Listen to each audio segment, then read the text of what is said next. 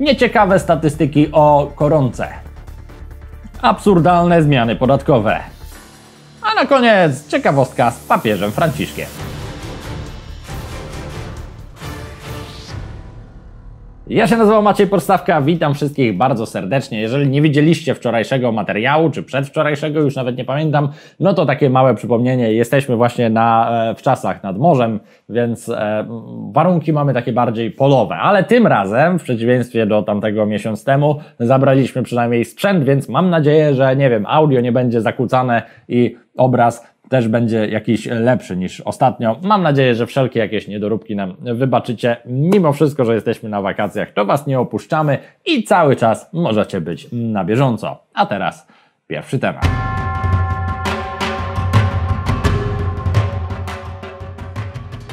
W wyniku zakażenia wariantem Kappa odeszło siedmiu senatorów mieszkających w domu opieki niedaleko Brukseli. Wszyscy byli po preparatach. Siedmiu mieszkańców domu opieki w Belgii, którzy przyjęli swoje dawki przeciw wirusowi, odeszło po zakażeniu wariantem Kappa, wykrytym po raz pierwszy w Kolumbii, poinformował portal France24. Zespół wirusologów, który przeprowadził testy w domu opieki, oświadczył, że mieszkańcy placówki zostali zakażeni odmianą Kappa pochodzącą z Kolumbii. W ostatnich tygodniach wykryto go w Stanach Zjednoczonych, gdzie obecnie odpowiada za 2% wszystkich infekcji. W Europie do tej pory przypadki takich zakażeń były bardzo rzadkie. Kierownik medyczny domu opieki powiedziała, że początkowo zakażone osoby doświadczyły tylko łagodnych objawów, ale po dwóch tygodniach od 24 lipca objawy znacznie się pogorszyły. Wszystkie 7 osób miało od 80 do 90 lat, niektóre z nich były już w złym stanie fizycznym. W sumie 21 mieszkańców tego domu opieki zostało zakażonych wariantem Kappa wraz z kilkoma członkami personelu, ale większość doświadczyło tylko łagodnych objawów.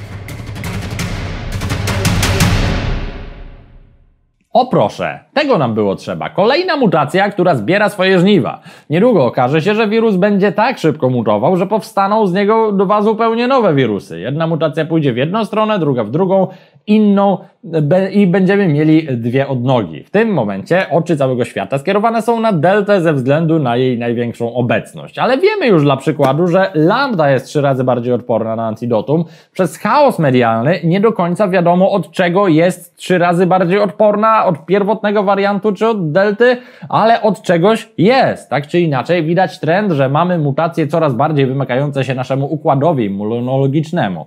No i teraz pytanie, co z tym zrobimy? Możemy wszyscy na świecie szybko przyjąć preparaty i mieć nadzieję, że e, zrobimy to tak szybko, że wirus nie zdąży zmutować za bardzo i w ten sposób spowolnimy jego przyszłe mutacje i na przykład co roku będziemy przyjmować, e, załóżmy, jedną dawkę aktualizującą e, przez 10 lat, żeby całkowicie go wyeliminować, co pewnie i tak się nie uda. Tylko ten wariant jest mało możliwy z kilku powodów. Po pierwsze, zasoby na świecie są rozlokowane, nie są rozlokowane porówno. Mamy Europę, która ma praktycznie nieograniczony dostęp do antidotum i mamy Afrykę Środkową, gdzie dostępność jest zerowa i trzeba to jakoś rozdzielić. Więc niemożliwe jest, żeby wszyscy preparat przyjęli, gdy nie ma do niego dostępu. Więc Europa może mieć swoje dawki, ale to niewiele da, jak nowe mutacje będą się właśnie e, rodzić tam w Afryce Środkowej i wędrować do nas, bo przecież mamy otwarte granice. Kolejna sprawa jest taka, że na świecie masa osób nieszczególnie ufa antidotum, więc już z tego powodu praktycznie niemożliwe jest, żeby wszyscy to przyjęli.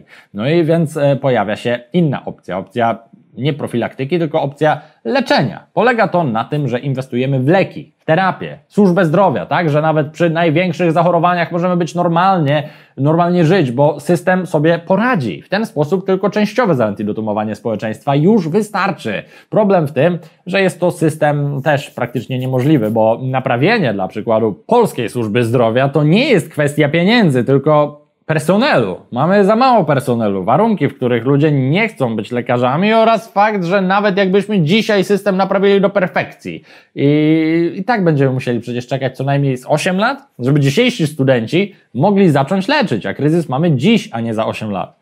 Więc jak widać jesteśmy w dupie. Następny temat.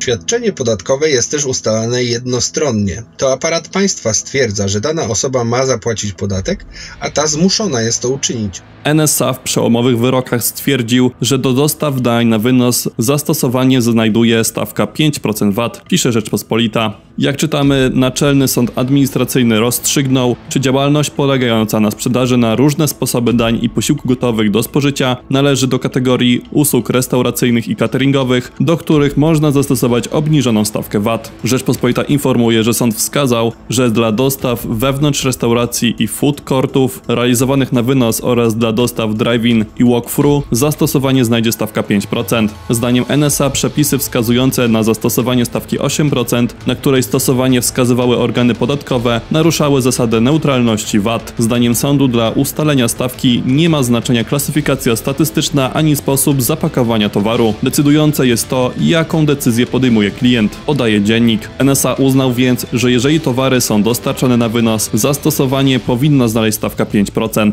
Za pomocą krzywych podaży i popytu, o których mówiliśmy już w odcinku 10, możemy zobrazować skutek wprowadzenia podatku. No i tak działa nasz system podatkowy. Jak jesteś małym przedsiębiorcą, masz jedną restaurację, jesteś fryzjerem, no generalnie prowadzisz albo jednoosobową działalność, albo mając firmę, to jesteś w najgorszej sytuacji na rynku. Państwo to właśnie ciebie najbardziej chce z kasy oskubać teraz i tak jak pracownicy podstawowi, dla przykładu za pomocą Polskiego Ładu, będą mieli pewne ułatwienia i na pozór będzie się im lepiej żyć, tak mali przedsiębiorcy będą mieli najgorzej. Większe podatki, większe formalności, większy próg wejścia do biznesu, większe ryzyko. No i ten przykład z VAT-em ta, na jedzenie na wynos jest genialnym przykładem. Skarbówka zapewne dobrze wiedziała, że zastosowanie ma tu normalne 5%, a nie 8%, ale do wyroku sądu mogą sobie ściągać 8%. I nikt im nie zabroni. A kto za to zapłaci? Właśnie ci mniejsi przedsiębiorcy, których to dorżnie i nie będzie im się chciało nawet sądzić ze skarbówką, bo nie będzie ich na to stać. I nie każdy też o tym usłyszy. Większość powie, no dobra, trudno, żyje się dalej. A skarb do kasy państwa wleci bezprawnie i nikt tego nie zwróci. Bo wielkie firmy, w odróżnieniu do małych, mają kapitał, mniejsze mają koszty, e, większą skalę, więc oni te 3% z łatwością wykorzystać mogą na swoją korzyść w kontekście konkurencyjności. Koniec końców przez te 3% zarabiają więcej. I tak działa wszystko, cały system podatkowy. Najprostszy przykład w Polskim Ładzie, jak jesteś inwestorem powyżej kwoty chyba 100 milionów czy coś takiego, no generalnie chodzi o wielkich graczy na ogólnoświatowym rynku, to dostaniesz od Urzędu Skarbowego specjalnego asystenta, który oficjalnie zoptymalizuje podatki pod ciebie. Czajcie? Robi to Polska, czyli powie tobie, jak masz zrobić, żeby płacić jak najmniejsze podatki. I to jest oficjalny system wprowadzony przez Kościńskiego, przez, e, przez Kościńskiego czy ministra finansów, jak on miał. Glapiński i Kościński, nie pamiętam już, Kościński chyba. No i później wystarczy iść optymalną drogą podatkową, wyznaczoną przez Urząd Skarbowy i wszystko będzie cacy, zarówno legalnie, jak i tanio. A samo zatrudnieni nie mogą sobie ZUS-u nawet w koszta wrzucić. Wniosek jest prosty. Polska to nie jest państwo dla biednych ludzi. Chcesz tu żyć, musisz być od razu milionerem.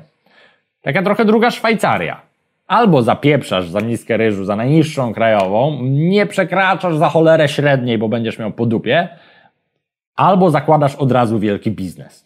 Koniec, kropka. Następny temat.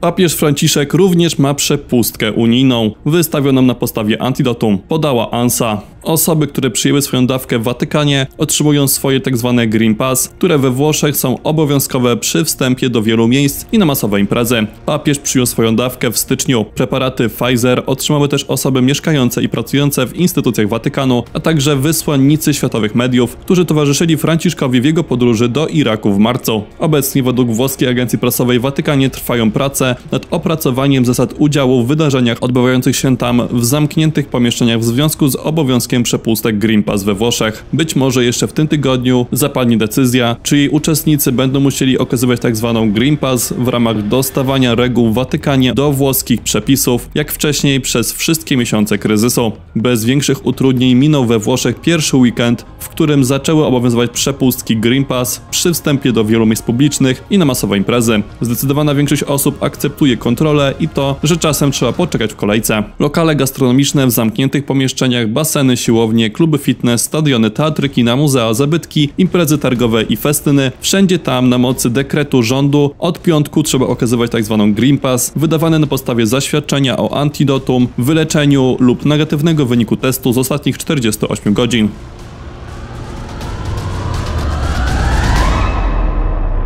Wyobrażacie sobie, że papież nie miałby przepustki i dla przykładu nie wpuściliby go do restauracji? To dopiero akcja by była, co? Jest kolejka, ludzie widzą papieża, zdjęcie sobie z nim robią, ten chce wejść do restauracji, a tam obsługa prosi o przepustkę. Okazuje się, że Franciszek jej nie ma, więc go nie wpuszczają. Prawo jest równe wobec wszystkich, więc teoretycznie tak powinno być. Jednak gdyby tak się stało, to chyba wszyscy by zapomnieli o tej zasadzie. Wręcz. Czym się różni długopis od trumny? Wkładem. Tego drętwego skłara mamy od AMI 240510XXL, za co serdeczny szacun, no i oczywiście otrzymujesz od nas złoty wkład do trumny. A jeśli ty chcesz dostać złotą statuetkę, to koniecznie wbijaj na naszego TikToka Maciej Podstawka, gdzie są codziennie nowe sucharki. I to tam właśnie w komentarzach możesz pisać swoje propozycje, które być może trafią do jednego z nadchodzących materiałów. Tymczasem ja już się będę żegnał i pamiętajcie, że 6.30 i 18 każdego dnia wychodzi nowy film. Heja!